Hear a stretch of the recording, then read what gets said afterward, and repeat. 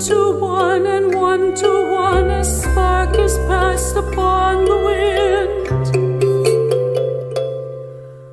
A thousand times I watch you stand, I watch you fall, and still my heart is reaching out to